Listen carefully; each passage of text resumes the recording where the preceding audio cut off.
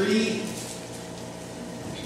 And I heard a great voice out of heaven saying, Behold, the tabernacle of God is with men, and he shall dwell with them, and they shall be his people, and God himself shall be with them and be their God. And verse 4 And God shall wipe away all tears from their eyes, and there shall be no more death, neither sorrow, nor crying, neither shall there be any more pain, for the former things passed away.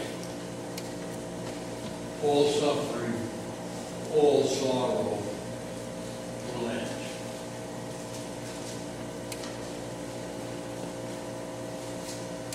What else? Look with me in 1 Corinthians chapter 4.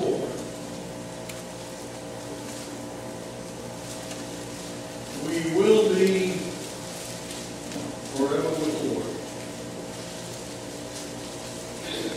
The Christian hope.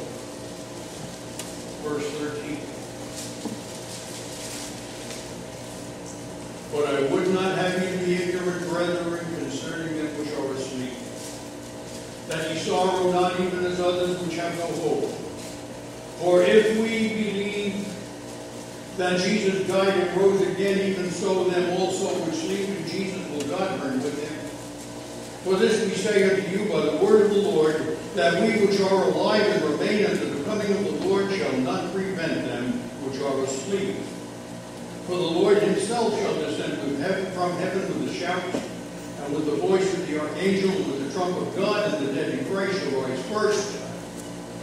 And then we which are alive and remain shall be caught up together with them in the clouds to meet the Lord in the air, and so shall we ever be with. This world is only a temporary dwelling place. We're only here for a short time. This life of ours, even though some folk look at it as long, we're told it's but a vapor. It's for a short time. I just got a call yesterday, last night actually. One of our ladies from Woodhaven, Haven Baptist Church passed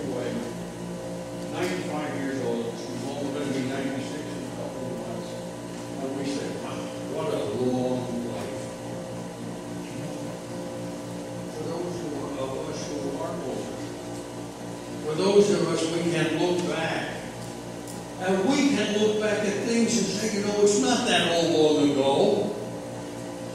I, I, I, I can think of my graduation from high school over 60 years ago. As time spent in the Army and all.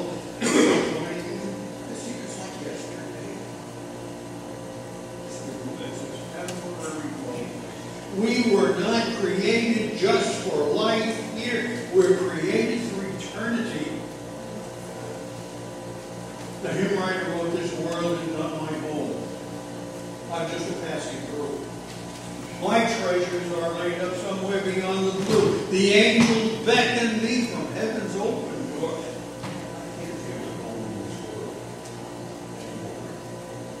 Jesus promised he would return. He said he would return when the dwelling place in Father's house Back to the 14th chapter of John. He says, Let not your heart be troubled. You believe in God, believe also in me. In my Father's house are many mansions. If it were not so, I would have told you, I go to prepare a place for you. And if I go to prepare a place for you, I will come again. I'll receive you unto myself, where I am. He continues, and when I go, the way we know. And Thomas said unto him, Lord, we know not whither thou goest, and how can we know the way? Jesus said, I am the way. I am the way, the truth, and the life, and no one comes unto the Father but by me. You trust me? Have you come to faith? faith in Him? Do you have this assurance that you are in the family of God? Have you come to recognize your sinful heart? And recognize how far short you come of all the commands of God? And we're told that if we keep the entire law and yet break it in one point, we're guilty of the whole law. We're sinners. The wages of sin is death. The gift of God is eternal life through Jesus Christ our Lord. He promised a prepared place. He was talking to Nicodemus.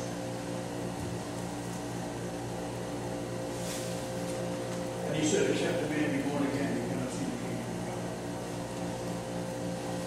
God. He said, for God so loved the world that he gave his only begotten Son, that whosoever believeth in him should not perish, but have everlasting life. God sent not his Son into the world to condemn the world, but that the world would be peace.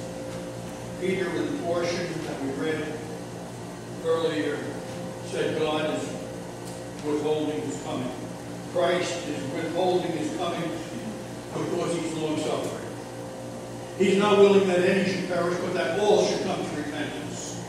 This is our message. This is our activity. This is what we're to be concerned with from the time he ascended up into heaven and he gave the great commission until he comes back again. At this time, we're going to receive a new body. We're going to move to a new country. It's going to be different from anything because we're told, I have not seen, nor ear heard, neither has it entered into the heart of man things that God had prepared for them that love Him. 1 Corinthians 15 again, the same portion that I read from. We are going to receive new bodies. We are going to a new country. Verse 53 to 1 Corinthians 15, for this corruptible must put on, on incorruption, this mortal must put on immortality. So, when this corruptible shall have put on incorruption, and this mortal shall have put on immortality, then shall be brought to pass the saying that is written, death is swallowed up in victory. O death, where is thy sting? O grave, where is thy victory? The sting of death is sin, the strength of sin is the law, but thanks be to God, which giveth us the victory through our Lord Jesus Christ. A more in 2 Corinthians chapter 5. We know this earthly house of our tabernacle was dissolved. We have a building of God, an house not made with hands eternal in heavens. For in this we groan, earnestly desiring to be clothed upon with our house which is from heaven, if so be that being found clothed, that being clothed we shall not be found naked. For we that are in this tabernacle do groan, being burdened, not for that we would be unclothed, but clothed upon. And I've always liked this last phrase, that mortality might be swallowed up of life. We will not really begin to live until we're translated and transported and be in the presence of God forevermore. The last thing I'd like to leave with you this morning is in 2 Timothy chapter 4. At the end of life, he's writing to Timothy. He's in prison. Caesar is sharpening up the executioner's axe or sword or whatever to be. And he writes in the seventh verse, the sixth verse says, For I am now ready to be offered, and the time of my departure is at hand. I have fought a good fight. I have finished my course. I have kept thee faith.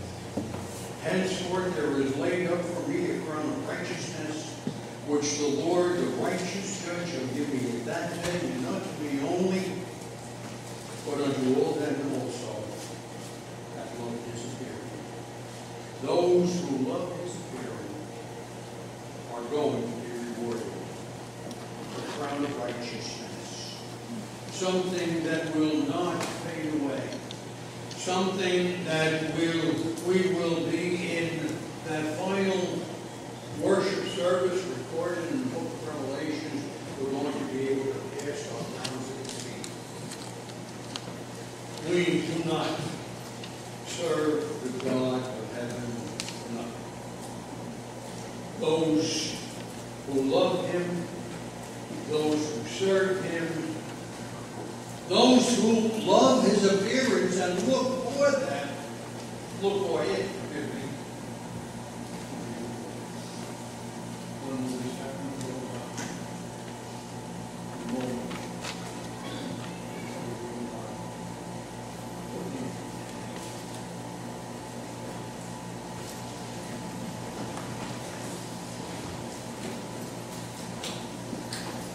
Our Father, we're challenged by these things. We recognize, oh God, how short we come and how often. And how much we violate many of the commandments and many of the admonitions of thy word. But we're thankful, oh God, that there is forgiveness with thee. That we can confess our sins. And we're told that when we confess our sins, thou art faithful and just to forgive us our sins and to cleanse us from all unrighteousness. John wrote, Now are we the sons of God, and doth not yet appear what we shall be, but we know that when he shall appear, we shall be like him, for we shall see him as he is. Lord, fix our hearts, fix our minds. May they be stayed upon thee, the one true God, and thy Son, our Savior, our Lord, our soon coming King. We pray in his name.